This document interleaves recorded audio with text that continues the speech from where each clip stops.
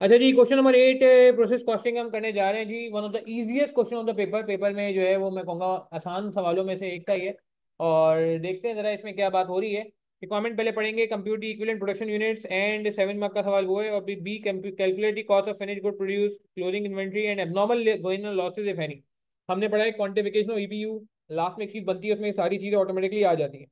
सवाल पढ़ लेते हैं। Cruise manufacturing limited C M L produces a product ठीक है जी।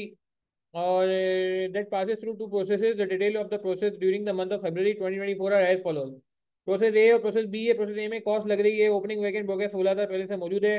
सॉरी ओपनिंग वैकेंट प्रोग्रेस पे कॉस्ट सोलह हज़ार मटीरियल लग चुका है छः हज़ार कन्वर्जन कॉस्ट लग चुका है, मजीद कॉस्ट मटीरियल एक लाख दस हज़ार कन्वर्जन कॉस्ट चालीस हज़ार इसी इतना जो है वो क्या कहते हैं opening vacant progress eight thousand unit है सिक्सटी परसेंट कंप्लीट ट्रांसफ़र जो हुए हैं, ये आउटपुट है पचास हज़ार है यूनिट रिजेक्टेड ऑन इंस्पेक्शन पच्चीस सौ है। यूनिट रिजेक्टेड ऑन इंस्पेक्शन कौन सा लॉस होता है?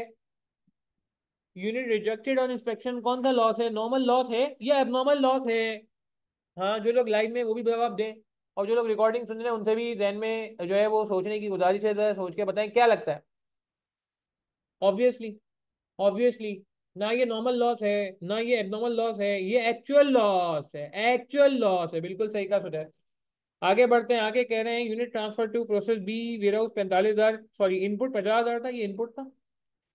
और आउटपुट पैंतालीस हज़ार है क्लोजिंग वेकेंट बुक दस हज़ार पाँच सौ। यूनिट्स पूरे हो रहे हैं मेरे ख्याल से। क्योंकि एक्चुअल लॉस हुआ है तो यूनिट्स पूरे हो रहे हैं। Closing vacant book eighty percent पे, यही डेटा इसने प्रोसेस बी का भी दिया हुआ है। अच्छा आगे क्या कह रहे हैं? आगे हमसे कह रहे हैं C M L uses weighted average इस बार फीफो नहीं है एफ़ को है, ये ध्यान में रखिएगा एफ़ को सवाल थोड़ा चेंज आता है, थोड़ा सा, मुश्किल नहीं होगा चेंज होगा थोड़ा। Material G36 is ready at the start of the process A and another material H148 is ready at the start of process B. अच्छा दो बातें बड़ी इंपॉर्टेंट है, हम कुछ डेटा बना लेते हैं। एक तो ये कि एफ़ को मेथड है।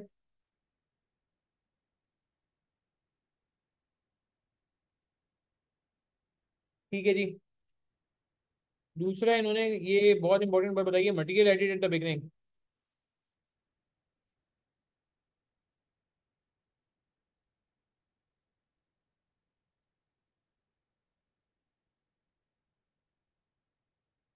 material added at the beginning for both the process.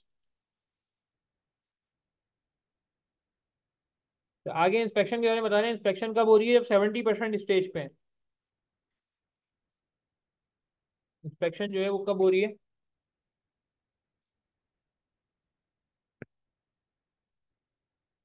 Process A में सेवेंटी परसेंट और प्रोसेस बी में एट्टी परसेंट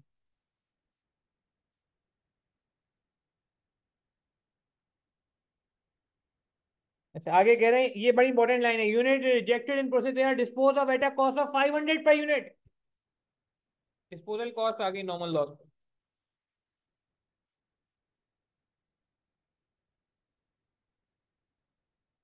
ठीक है जी, और दूसरी तरफ़ वो कह रहा है कि प्रोसेस बी में स्क्रैप बिक जाता है 2000 पर यूनिट का। Five percent of the normally rejected at each at each stage of inspection ये प्रोसेस ए में ऐसा है।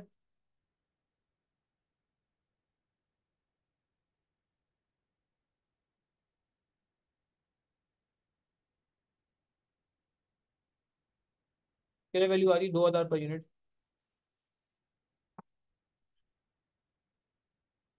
और कह रहे हैं नॉर्मल लॉस परसेंटेज दोनों जगहों में कितना है?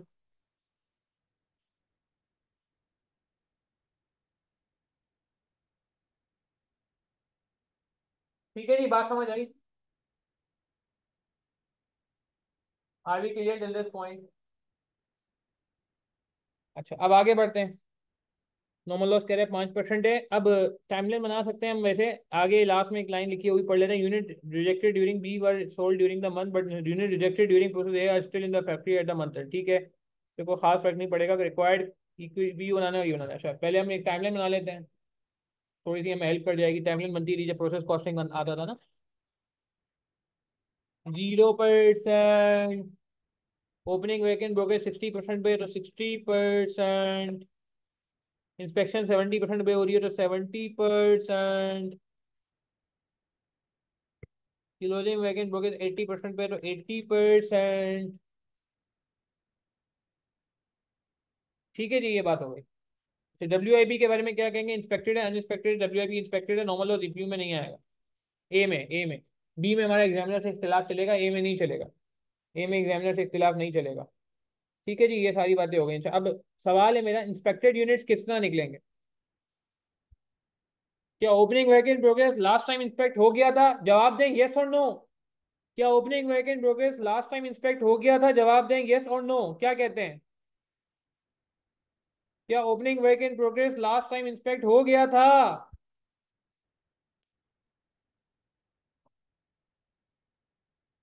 अनइंस्पेक्टेड बिल्कुल सही कहा।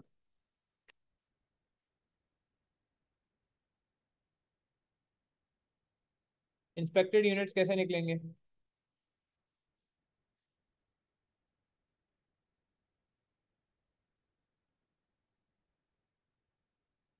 इंस्पेक्टेड यूनिट कैसे निकलेंगे? आठ हज़ार प्लस पचास हज़ार। क्लोजिंग वैकेंट प्रोग्रेस माइनस कर दूँ क्या? बिल्कुल इस बार ऐड कर देंगे। सही का मूसा। सही का इमरान कुरेशी। मूसा इमरान कुरेशी। सुदेश, सही का हाँ। क्या क्लोजिंग वैकेंट प्रोग्रेस माइनस होगा? कभी होता था, कभी नहीं होता था। इस केस में होगा, नहीं होगा? जवाब दे दो भाई। क्लोजिंग वैकेंट प्रोग्रेस क्या इंस्पेक्टेड है? अनस्पेक्टेड है। अगर वो अनइंस्पेक्टेड होता तो माइनस होता। बिल्कुल सही कहा दोनों ने। बहुत अच्छी बात। आपने भी सही कहा। मूसा इमरान कुरेशी ने भी सही कहा। हाँ।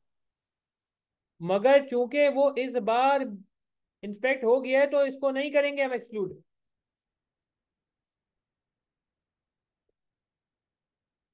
एक और तरीके से इंस्पेक्टेड यूनिट निकाले जा सकते हैं। एक और तरीके से भी निकाल सकते हैं। ये भी इंस्पेक्ट हुआ होगा जो वर्क इन प्रोग्रेस है ये इंस्पेक्टेड है अभी बताया एटी परसेंट पे इंस्पेक्टेड है। जो आउटपुट है वो भी इंस्पेक्टेड होता है और जो रिजेक्टेड यूनिट्स होते हैं वो भी इंस्पेक्टेड होते हैं क्योंकि जब रे, रे, जब इंस्पेक्शन होगी तभी तो पता चलेगा कि यूनिट सही नहीं है कि रिजेक्टेड है। ठीक है ना? जब तो पता चलेगा कि रिजेक्टेड है। तो आप एक और तरीके से भी 58 निकाल सकते हो क्योंकि मैंने कहा सवाल बहुत आसान है इसमें कोई ऐसी कोई बात इसने नहीं की है। तो ऐसे भी निकालोगे तो भी 58 आएगा, ऐसे निकालोगे तो भी 58 आएगा। दोनों तरीकों से, जो आसान लगे, मुझे जो आसान लगा मैंने उससे कर दिया, मगर दूसरा तरीका भी बता दिया आपको।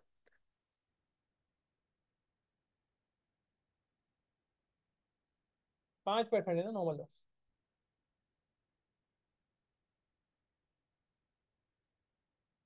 ट्वेंटी नाइन हंड्रेड तो प्रोसेस एक ही टाइम में बनाई गई थी। प्रोसेस बी की भी टाइमिंग बना लेते हैं।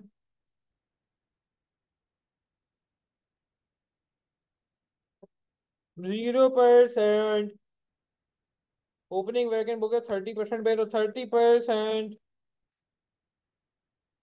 हाँ भाई।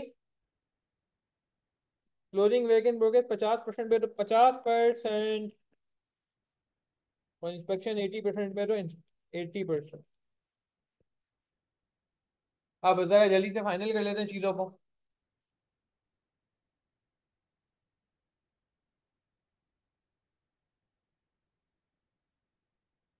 तो इंस्पेक्टेड अब यहाँ पे बताते हैं इंस्पेक्शन किसकी हुई है। ये पाँच हज़ार यूनिट लास्ट टाइम इंस्पेक्ट हो गए थे, जवाब दें यस और नो क्या इस बार इंस्पेक्टेड में आएँगे? देखो, गलती नहीं करना से बहुत बात नॉर्मल लेक्चर्स में भी हो चुकी है। लास्ट टाइम ये थर्टी परसेंट पे थे और इंस्पेक्शन एट्टी पे होती है तो लास्ट टाइम ये इंस्पेक्ट नहीं हुए थे।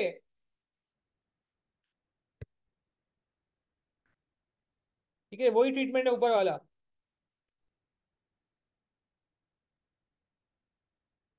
But WIP also un, uninspected. Closing WIP भी अनइंस्पेक्टेड है ना भाई। 50 परसेंट पे स्टैंड करती है, हालाँकि इंस्पेक्शन एटी पे होती है।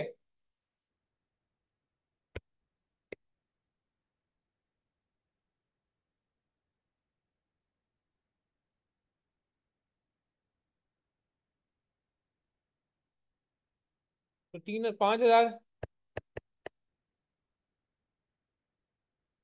प्लस पैंतालीस हज़ार वेरीफाई भी करवा दूँगा, चलो। माइनस तीन हज़ार, माइनस सात हज़ार सॉरी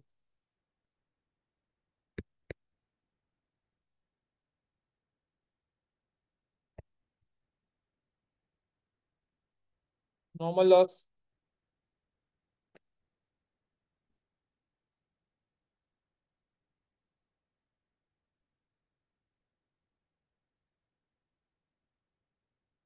अच्छा एक और तरीके से भी निकाल सकते हैं। हाँ बिल्कुल डब्ल्यू माइनस होगा। एक और तरीके से भी निकाल सकते हैं कि भैया देखो चेक करो, जो यूनिट ट्रांसफ़र हुए वो तो इंस्पेक्ट हुए होंगे और जो यूनिट खराब हुए वो भी इंस्पेक्ट हुए होंगे। बस दो ही इंस्पेक्ट हुए होंगे। डब्ल्यू आई भी इंस्पेक्ट नहीं हुआ होगा तो इस तरह भी देखो फोर्टी थ्री आ रहा है। इस तरह भी देखो तो वही फोर्टी थ्री आ रहा है जो मैंने निकाला था। ठीक है तो दोनों तरीके मैंने बता दिया आसानी के लिए। अच्छा नॉर्मल लॉस आ गया अब जरा क्वांटिटी शेड्यूल बना लेते हैं। हमने बहुत सारी बात कर ली है। नाउ इट्स टाइम कि अब हम सवाल को थोड़ा और आगे लेके जाएँ।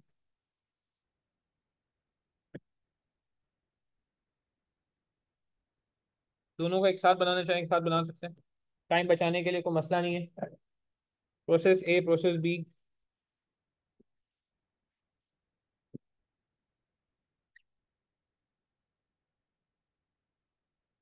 सबसे पहले ओ डब्ल्यू आई बी आता है। क्वांटिटी स्केजुअल है ई पी यू नहीं है। ई पी यू और छोटा होगा क्योंकि ये एफको है। ओपनिंग वैकेंट प्रोग्रेस के यूनिट्स कितने हैं? आठ हज़ार और पाँच हज़ार।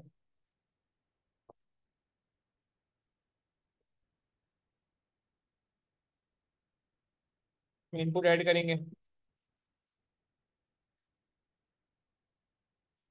कितना इनपुट हुआ है? अच्छा मज़े की बात ये, जो इधर का आउटपुट था, वो अगले का इनपुट है। जो डिपार्टमेंट ए का आउटपुट है, वो डिपार्टमेंट बी का इनपुट है। तो इनपुट यहाँ पचास हुआ और यहाँ पैंतालीस हुआ।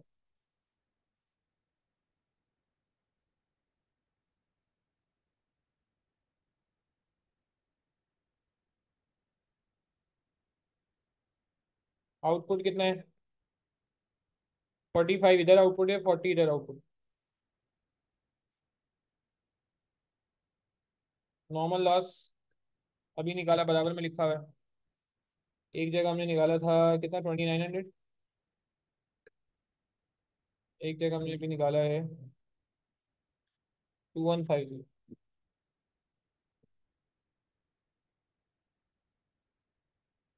closing vacant progress दस हज़ार पाँच सौ, सात हज़ार।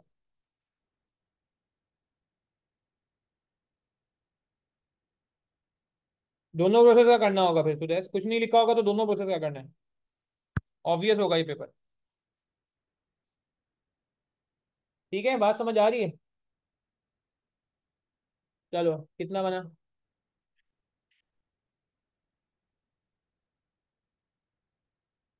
एट फोर हंड्रेड कितना बना forty nine one fifty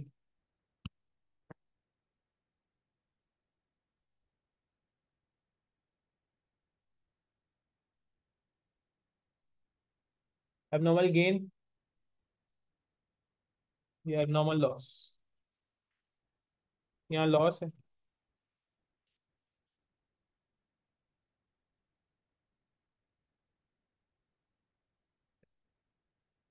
ठीक है जी, बात समझ आई? एक जगह नॉर्मल गेन है।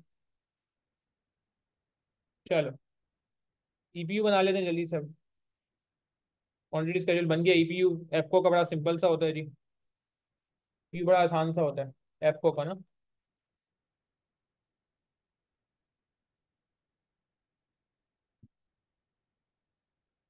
डिपार्टमेंट ए का प्रोसेस एक अलग बनेगा। इसमें एक काम करना पड़ेगा, वो बाद में बता दूँगा। बट खैर, वो करना पड़ेगा।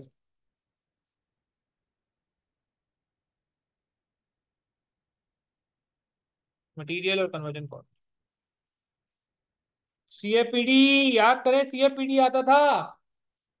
जब हम सेकंड प्रोसेस बना रहे होते थे तो सीएफपीडी लिखते थे।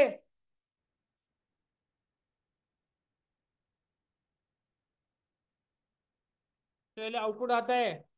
एफ़ को चल रहा है आउटपुट आता है पहले। पैंतालीस हज़ार, पहले ए का बना लेते हैं। इसका भी चाहे तो लिख दें आउटपुट चले।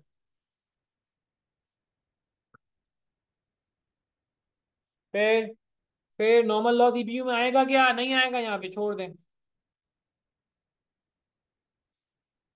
एबनॉर्मल लॉस ईपीयू में आएगा?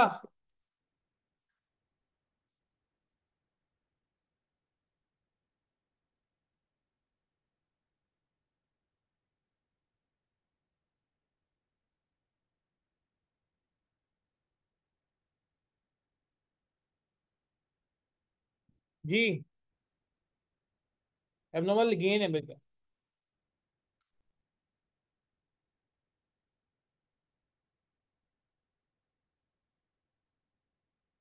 एबनॉर्मल गेन आएगा। मटेरियल में पूरा चार सौ आएगा। कन्वर्जन कॉस्ट में चार सौ नहीं आएगा, याद करें। चाहे एबनॉर्मल लॉस हो या एबनॉर्मल गेन हो, पूरा डिटेल में कॉन्सेप्ट सिखाया गया था आपको। बिल्कुल बिल्कुल, मूसा, इमरान कुरैशी, सुदेश, बिल्कुल। जी, सही कह रहे हैं सब लोग, जो लोग चैट में बता रहे हैं। फोर हंड्रेड का एटी नहीं सेवेंटी परसेंट चंदा। इंस्पेक्शन सेवेंटी परसेंट भी हो गया ना यार? प्रोसेस ए में लड़के ये रही सही है? प्रोसेस ए में सेवेंटी परसेंट पे हो गया तो सेवेंटी परसेंट पे रिस्ट्रिक्ट करेगा।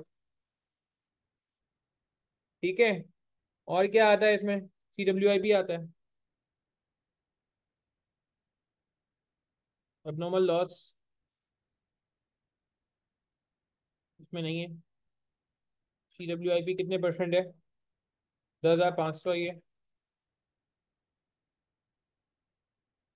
एट्टी परसेंट हाँ W I P eighty percent है। Closing vacant progress eighty percent कितना बन गया?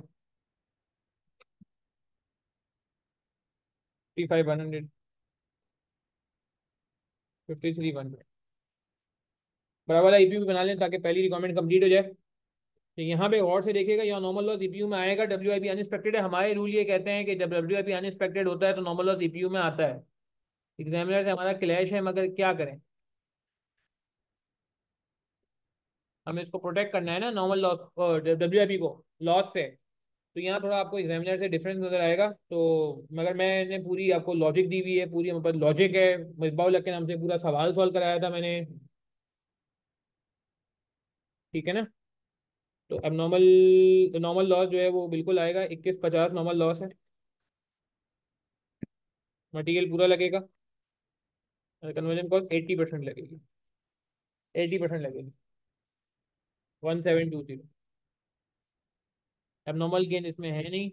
एबनॉर्मल लॉस बिल्कुल इसमें साढ़े आठ सौ, इसका भी यही होगा मटेरियल पूरा आएगा एबनॉर्मल लॉस साढ़े आठ सौ का eighty percent six eighty work in progress इसका जो है वो फिफ्टी परसेंट पे आई गेस तो सात हज़ार यहाँ पूरा आएगा।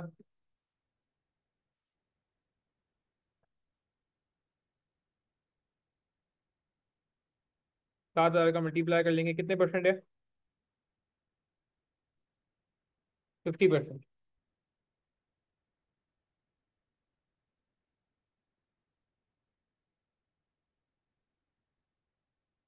कितना बन गया? पचास हज़ार। Material C F B D same ही आया इतफाक से। Material C F B D same ही आया क्योंकि मटीरियल भी शुरू में लग जाता है और सी एफ़ बी डी भी शुरू में लग चुका होता है। ठीक है जी, यहाँ पे कोई सवाल है? एग्जामिनर मुझे उम्मीद है कि हमारी चीज़ को कंसिडर करता होगा।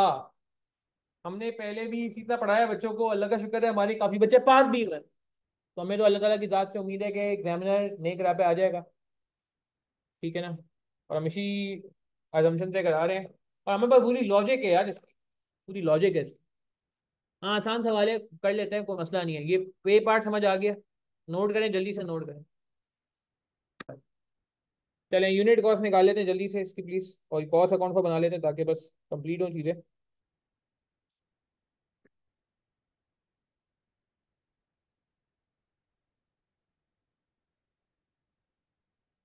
पहले प्रोसेस ए का काम कंप्लीट करेंगे अब प्रोसेस बी पे जाएँगे। कंप्यूटेशन ऑफ़ यूनिट कॉस्ट क्योंकि अभी जब तक प्रोसेस ए कंप्लीट नहीं होगा प्रोसेस बी हो नहीं सकता। प्रोसेस ए का आउटपुट जो है, वो प्रोसेस बी का इनपुट है।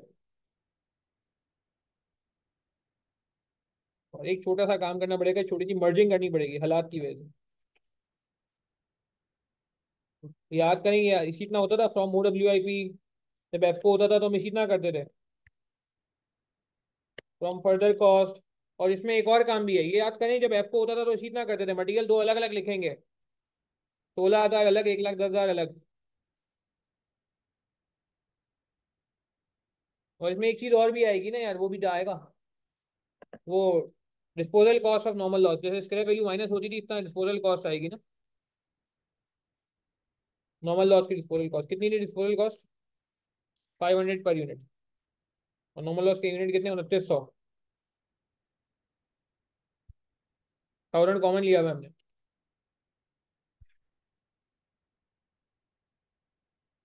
कॉमन लिया हुआ ऐड कर लें सबको। ईपीयू से डिवाइड कर लेंगे रहा EPU fifty eight fifty five one hundred process one का ईपीयू ये रहा फिफ्टी फाइव वन हंड्रेड आपके रजिस्टर में भी लिखा होगा। कितनी आ गई two three one three point zero seven conversion cost का भी इसी इतना कर लेते हैं। गिवन है सवाल में। गिवन है सवाल में। सिक्स और forty further cost forty thousand IPU ये रहा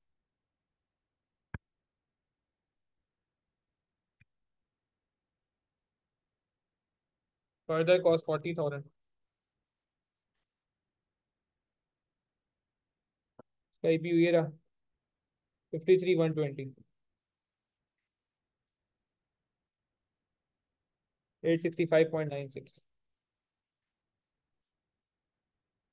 three, one seven nine point zero three. One seven three four fifty. Cost account को बना लेते हैं। प्रोसेस वन का cost account for quantification of EU जिसे कहते हैं।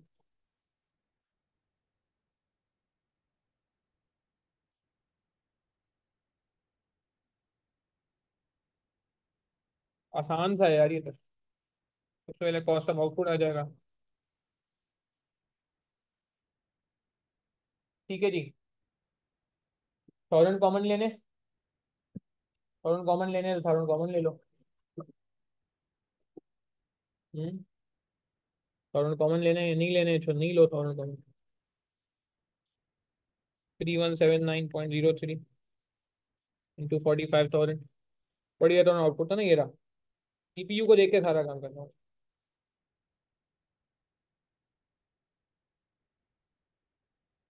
One four three zero five six three fifty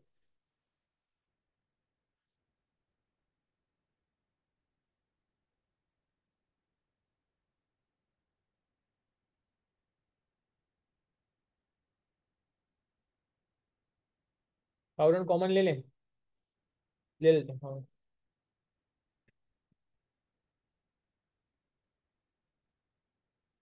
Point three five abnormal loss, abnormal gain material पूरा लगा था। कन्वर्जन कॉस्ट थोड़ी लगी थी। चार सौ दो सौ अस्सी। ये रहा।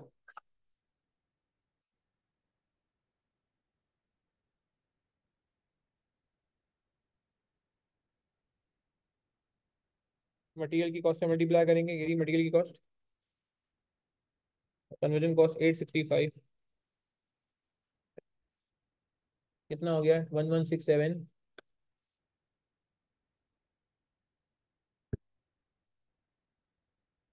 six nine seven point six eight minus में और क्लोजिंग वर्क इन प्रोग्रेस पे आ जाते हैं. मटेरियल दस हज़ार पाँच सौ ये रहा। Two three one three point zero seven conversion cost eighty four hundred eighty percent था ना एटी फोर हंड्रेड ये रहा ऊपर। Eight sixty five point nine six thousand common ले लेते हैं। Three one five six one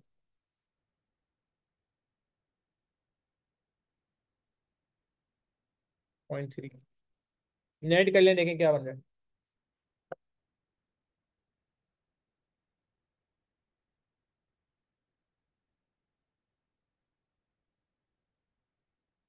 One seven three four nine वो यही बन रहा है। One seventy three five hundred one seventy three four fifty match कर गया। मतलब सही बनाया अब नॉर्मल लॉस की कॉस्ट भी आ गई वर्क इन प्रोग्रेस की कॉस्ट भी आ गई, यही रिकॉर्ड मांगा हुआ था इसने। ठीक है जी नोट कर लें यही रिकॉर्ड मांगा हुआ था इसने फिनिश गुड की कॉस्ट निकाल दी क्लोजिंग इन्वेंट्री की और अब नॉर्मल लॉस की, या गेन की। ठीक है जी नोट कर लें क्वांटिटी स्केजुअल ईपीयू अखबार व्यू देख लें। इज़ फाइन ओके प्रोसेस निमट गया। कोई सवाल है? प्रोसेस भी निपटा दोगे? नहीं करा दूँ। चलो करा देता हूँ। करा देता लैपटॉप की बैटरी मेरी थोड़ी सी रह गई है बस अब। करा देता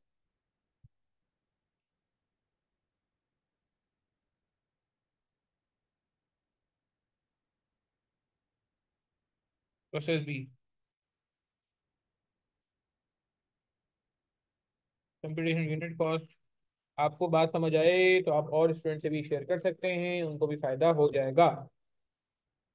कंप्यूटेशनल यूनिट कॉस्ट तरीके का। अच्छा अब एक मसला है यहाँ पे। मसला ये कि मैं चाहता हूँ सी एफ़ पी डी अलग हो, ये मसला सुन लें। मैं चाहता हूँ सी एफ़ पी डी अलग हो।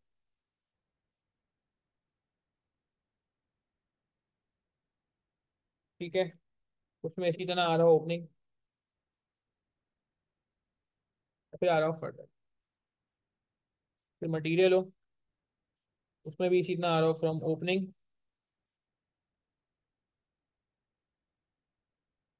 फिर फर्दर ये मेरी चाहत. मगर मुझे बताएँ जो हमें ओपनिंग वैकेंट प्रोग्रेस दिया हुआ है प्रोसेस बी का. उसमें सिर्फ़ मटेरियल दिया हुआ है और कन्वर्जन कॉस्ट दिया हुआ है. सी एफ़ पी डी का वो पोर्शन नहीं बताया हुआ. ये क्या मज़ाक? कोई मज़ाक नहीं है. एक आसानी की गई आपके लिए, छोटी सी। छोटी सी आसानी की गई है। ओपनिंग इन प्रोग्रेस में सी एफ़ पी डी कितना है? नहीं पता। पता है। पता है। ये जो मटेरियल है ना, ये ये ये। देखिए सी एफ़ पी डी भी तो मटेरियल कितना होता है।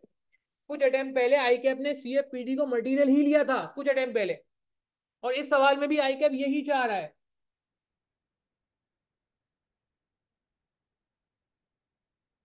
सही है ना? इस सवाल में भी आई क्या मैं, मेरी बात समझ आ रही है? देखो अच्छा और आसान करते हैं। सी ए पी डी और मटेरियल का फिगर देखो सेम आ रहा है ईपीयू में। वो एग्जामिनर हमारा क्लैश है, उसके बावजूद एग्जामिनर का भी सेम आ रहा होगा। तो मैं कह सकता हूँ कि जो सुलूक सी ए पी डी का हो रहा है, वही मटेरियल का हो रहा है ईपीयू में ईपीयू में। तो इसने यहाँ पे मैं समझता हूँ कि कॉस्ट अलग बतानी जिस तरह यहाँ इसने मटेरियल कन्वर्जन कॉस्ट अलग बताया, यहाँ भी मटेरियल कन्वर्जन कॉस्ट अलग बताया, यहाँ तो कॉस्ट के तीन कंपोनेंट है। सी एफ़ पी डी वाला कंपोनेंट कहाँ है? ओपनिंग वर्क इन प्रोग्रेस का। तो टेंशन नहीं ले, आप उसको मर्ज कर दे, मैं ये कहना चाह रहा हूँ। आप मटेरियल के अंदर ही मर्ज कर दें। आप उसको मटेरियल ही समझ लें, मैं ये कहना चाह रहा हूँ। मेरी बात समझ आ रही है, मैं क्या कह रहा हूँ? कि आपका ये जो हेडिंग बनेगी, अब आज बनेगी C F P D and material क्योंकि उसने ओपनिंग वैकेंट प्रोग्रेस की कॉस्ट सी एफ़ पी और मटेरियल की अलग अलग नहीं दी तो लिहाजा आपके लिए सिग्नल है कि दोनों को मर्ज करके काम करना होगा। दोनों को मर्ज करके काम करना होगा मर्ज करके। मेरी बात समझ आ रही है? तो from O W I P कितना है? तीस हज़ार। कह सकते हैं कि इसके अंदर सीएपीडी भी शामिल है। सीएपीडी अलग से नहीं बताया हुआ। ठीक है। गेम समझ आई?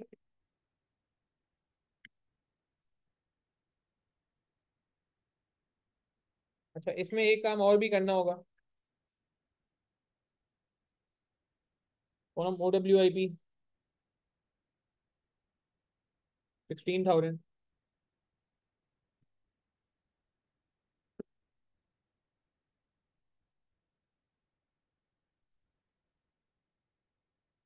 further cost सवाल में दी हुई एक लाख दस, ये कितनी दी हुई है सवाल में? टू ट्वेंटी फाइव थाउज़ेंड तीस हज़ार है सॉरी तीस हज़ार थी फर्दर कॉस्ट दी हुई है दो लाख पच्चीस हज़ार। अब चूँकि इसमें सी भी शामिल है तो इसमें एक चीज़ और भी ऐड करेंगे।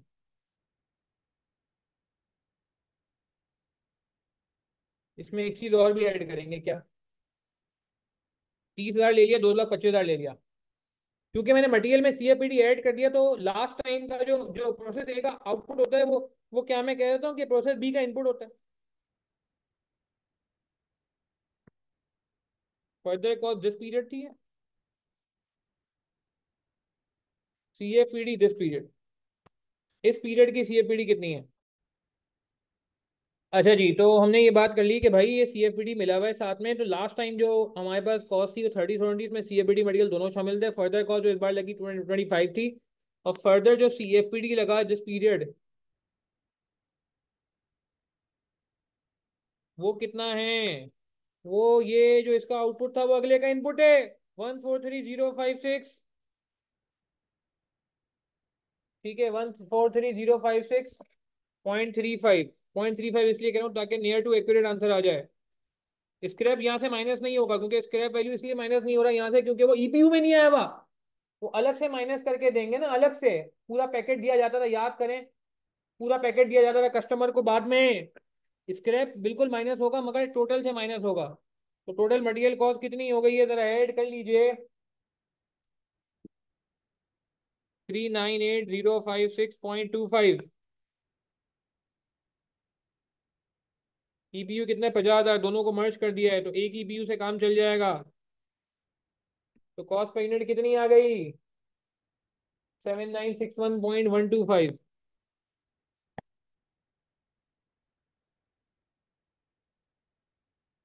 conversion cost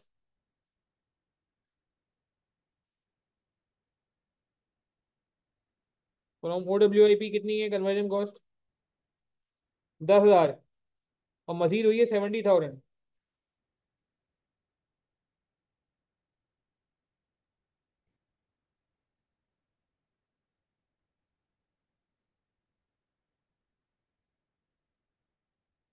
एटी थाउज़ेंड हो गया। मर्ज इसलिए किया ना क्योंकि वो अलग अलग नहीं बताई हुई ना कॉस्ट ये तीस हज़ार एक साथ बताई हुई है, इसलिए मर्ज किया था। तीस हज़ार एक साथ बताई हुई है ना सीएफपीडी अलग से बताया हुआ ही नहीं है, देखो। मटेरियल के अंदर ही इसका मतलब सीएफपीडी शामिल है और दोनों का ईपीयू भी सेम आ रहा है इत्तेफाक से। दोनों का ईपीयू भी सेम आ रहा है। तो समझो हम चाहते तो हम कॉलम भी मर्ज कर देते, मगर उस वक्त it will be too early for us ना। It will be too early for us वहाँ से आइडेंटिफाई नहीं हो पा रहा था। कि अक्सर सॉल्व में मर्ज नहीं करना पड़ता। ऐड कर दें। कितना हो गई?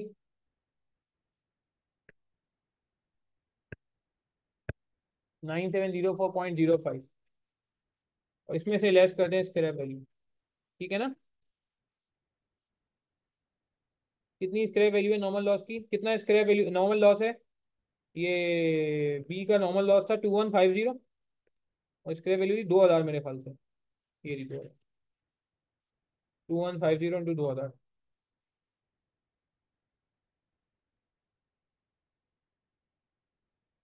फोर थ्री नेट कॉस्ट कितनी हो गई? थाउज़ेंड कॉमन लिया हुआ है। फोर सेवन थ्री हमारा एग्जामिनर से मैच नहीं करेगा आंसर मैंने आपको वजह बता दी है कि हम अपने कॉन्सेप्ट से चलते हैं, हम नॉर्मल लॉस को व्यू में लेते हैं। Last but not the least cost account for कह लें। ये सवाल एंड करते हैं, नमाज़ का भी टाइम हो रहा है। क्वान्टिफिकेशन ऑफ़ ईपीयू कह लें।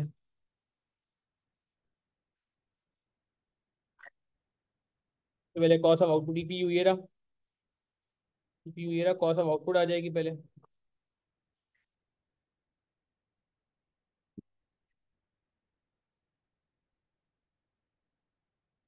ठीक है जी आउटपुट की कॉस्ट आ जाएगी। चालीस हज़ार इंटू टोटल कॉस्ट कितनी आएगी? Nine seven zero four.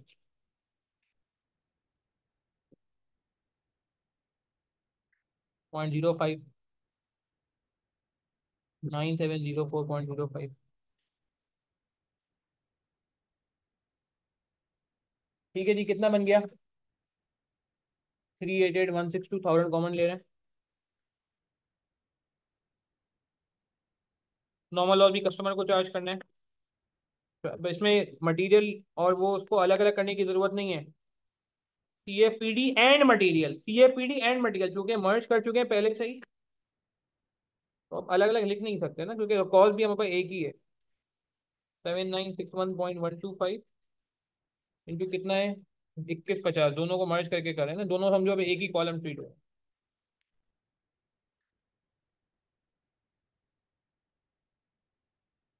Conversion cost में one seven four two point nine two one seven two zero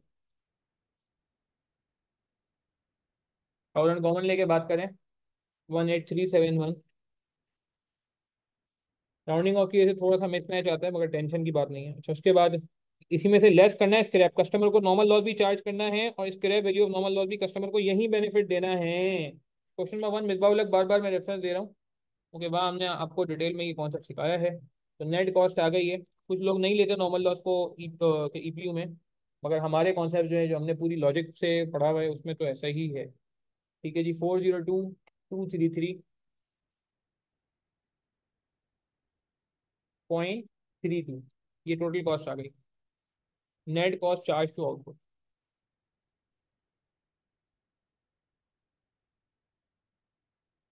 abnormal loss आ जाएगा।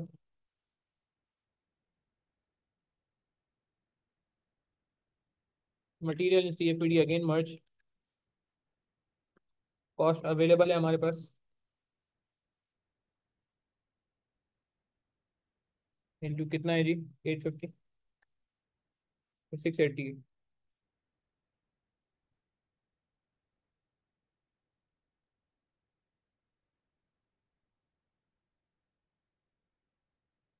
इनको मर्ज कर लेंगे बंदा six seven six seven and last but not the least closing vacant progress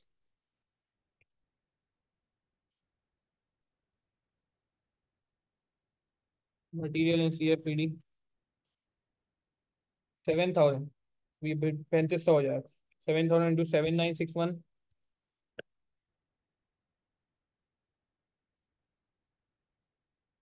conversion cost पैंतीस सौ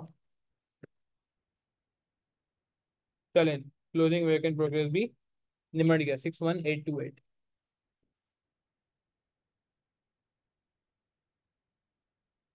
total कर लें तो ऑलमोस्ट ऑलमोस्ट